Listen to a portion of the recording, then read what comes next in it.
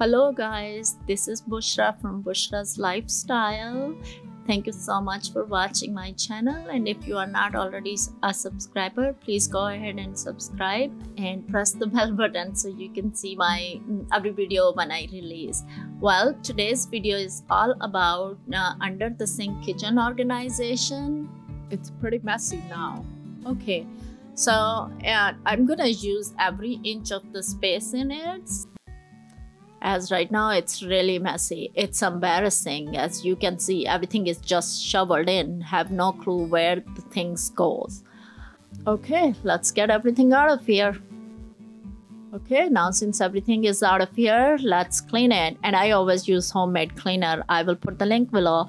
And sponges from dollar tree. And honestly it's such a good cleaner. Takes everything away as soon as we're done cleaning, there will be no mess, germs, or anything else left.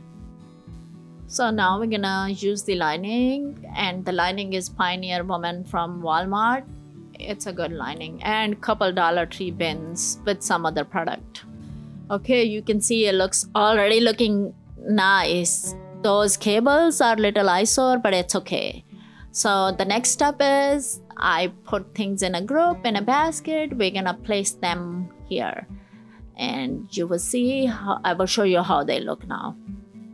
Okay, so they're already organized. Items are these. The one bin is I have all the bulk items, sponges, and you know, extra dishwasher soap and all those Dawn soap.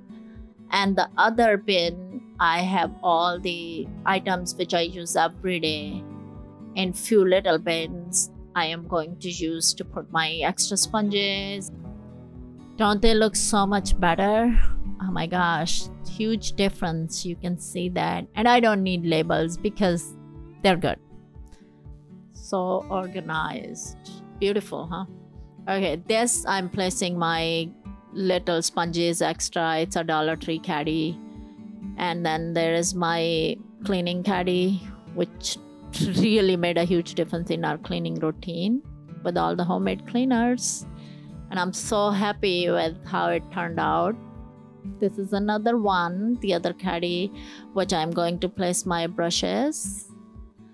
And I can't wait to see yours, what you do with yours under the sink organization in your kitchen.